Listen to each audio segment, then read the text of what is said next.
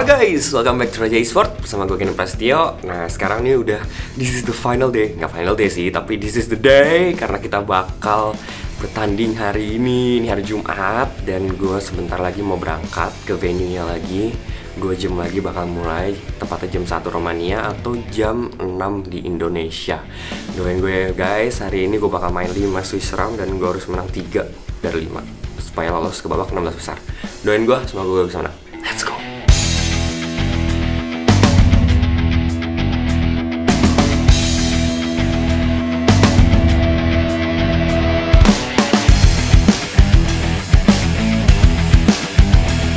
Nah guys, jadi gue udah sampai. Sekarang nih gue mau tanding sebentar lagi. Sekarang gue mau practice dulu dua satu atau dua match. Habis itu sejam lagi gue bakal tanding. Oke, doain gue ya guys supaya gue bisa menang at least 3 dari 5. Oke, biar gue bisa masuk ke babak 16 besar. Let's go.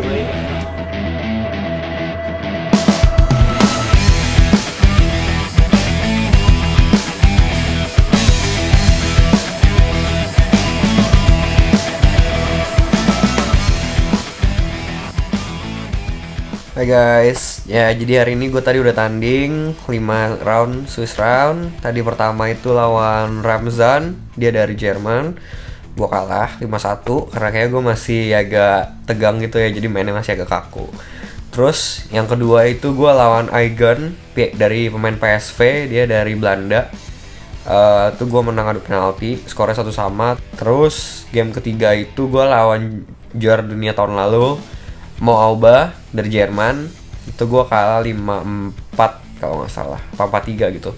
Nah terus game Swiss round keempat itu gue lawan Prime Turbo. Dia itu dari Denmark. Kalau gue nggak salah ya dari Denmark itu gue menang 3-1 jadi uh, rekor Swiss round gue kan dua sama.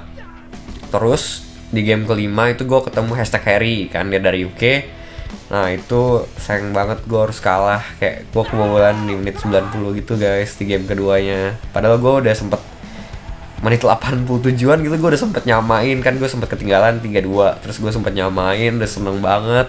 Eh menit 90 nya golnya mesti banget sih kalau menurut gue kayak Seharusnya sih gak harus gol ya Tapi ya udah lah ya namanya juga game.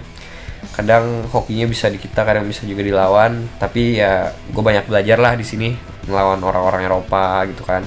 Mereka emang jago-jago semua gitu kan. Jadi kita ya gue bisa banyak belajar semoga gue bisa lolos lagi nanti ke Food Champions Cup yang ketiga. Terus juga semoga gue juga bisa berbagi sama Raja Pugu biar dia bisa lebih berhasil dari gue gitu. Doain juga ya buat Raja Pugu nanti di Food Champions Cup yang kedua dua minggu lagi. Oke okay guys. Sekian dari gue bye bye